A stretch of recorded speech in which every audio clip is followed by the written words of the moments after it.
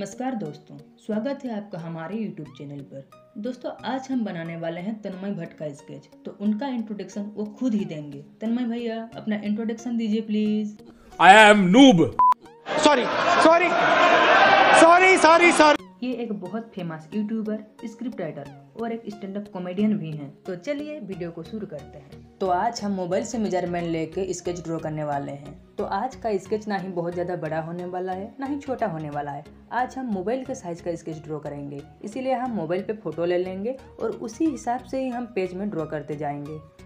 और आज हम माप लेने के लिए ना तो स्केल का यूज़ करने वाले हैं, ना ही किसी और चीज़ का।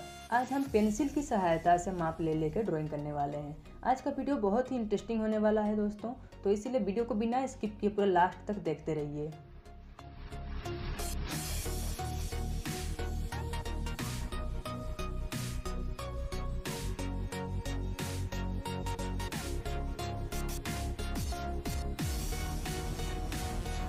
जैसा कि आप देख पा रहे हैं कि हम किसी पेंसिल से ही मेज़रमेंट करके ड्राइंग बना रहे हैं तो आप भी वैसा बनाने का प्रयास करें।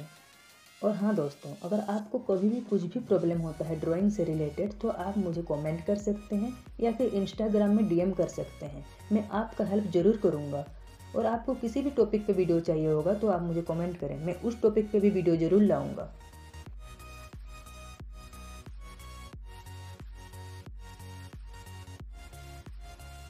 तो देखा आपने कि हमने कैसे मोबाइल से ही मेज़रमेंट करके अपना आउटलाइन कंप्लीट कर लिया है।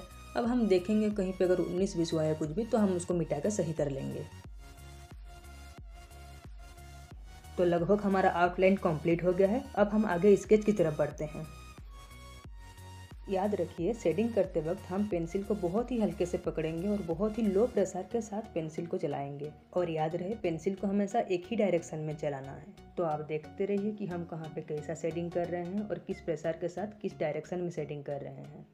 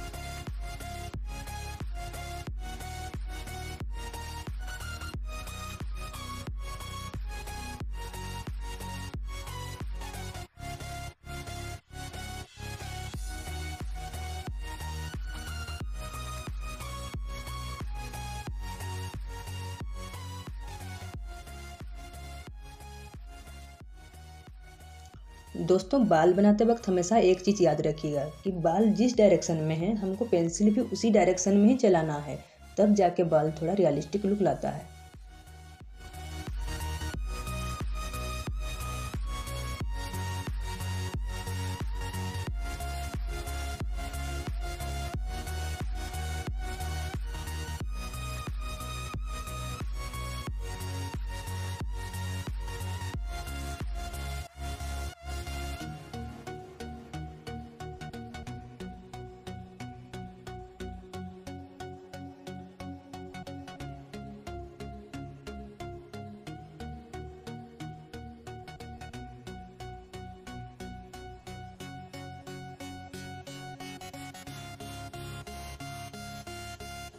देखिए दोस्तों, पेंसिल शेडिंग का यही एक फ़ायदा होता है कि हम जब भी सेट करेंगे पेंसिल से तो हमको पेंसिल का एक एक स्ट्रोक नज़र आएगा उसमें से। उसमें ना तो हम ब्लेंडर का यूज़ करेंगे, ना ही किसी और चीज़ का। और हमको उसमें ब्लेंड करना भी नहीं है। हमको उसमें एक एक लाइन को, पेंसिल की एक एक स्ट्रोक को परखना है, तब जाके हम एक परफेक्ट स्केच बना सकते हैं।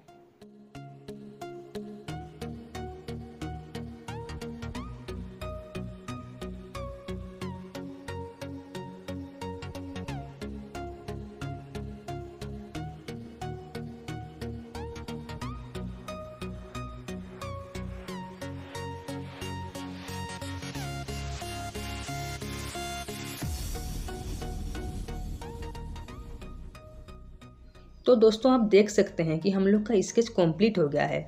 अगर आप इसको अच्छे से देखेंगे तो इसमें पेंसिल का एक एक स्ट्रोक नज़र आएगा। आशा करता हूँ कि वीडियो आपको पसंद आई होगी। अगर वीडियो अच्छी लगी तो वीडियो को लाइक कीजिए कमेंट कीजिए, ज़्यादा से ज़्यादा शेयर कीजिए। और अगर आप हमारे चैनल पर नए हैं तो चैनल को सब्सक्राइब करके बेल आइकन को ऑन कर लीजिए। धन्यवाद।